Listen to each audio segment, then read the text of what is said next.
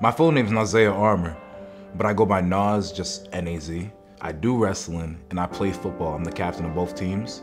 Going into fifth grade, I actually got bullied because going from Randolph to Brockton, it was a whole different atmosphere.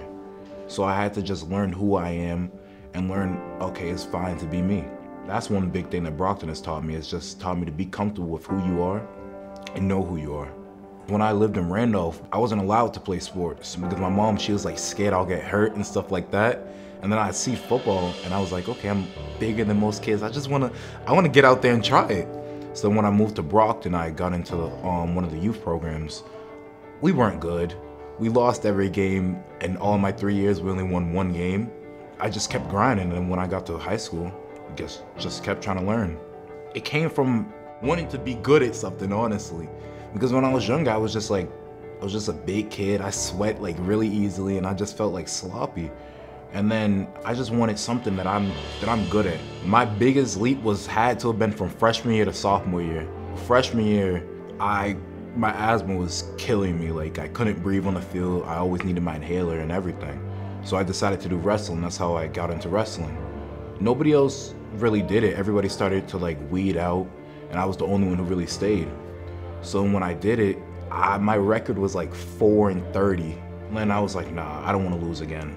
So sophomore year, I ended up placing one of the top in the states. Because throughout all throughout like the summertime, I was just grinding, doing three practices a day.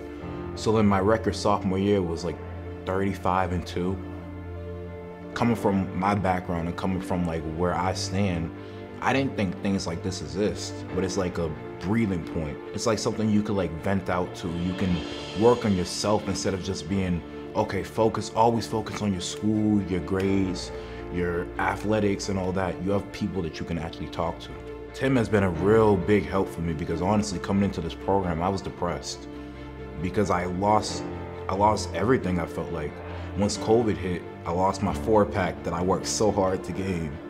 I lost like I put on like 60 pounds. I was 220 weight class and then I rose up to 300 pounds. He really was a big help to me. So then at the start of football season, I was three something, three something. And like right now I'm feeling a lot better. I'm doing like two practices a day. I'm going to the gym more often and I'm feeling a lot better and more confident in my own body the first thing, like when I get in the room with Tim, it's not like, okay, no, it's time to get time to get to work. No, the first thing he's asked me is, how are you doing? How have you been? I think that's really important and like that was my decision on picking a school. My decision didn't come from D1, D2, D3. It didn't come from NFL, it didn't come from any of that. My decision came from how do y'all like think about me, me as a person, not just as an athlete. Because I'm one of those persons where it's not, it's never really all about me. So then the major thing I'm definitely taking it from this is the mentoring. Being a captain and stuff, that's something you kind of got to learn.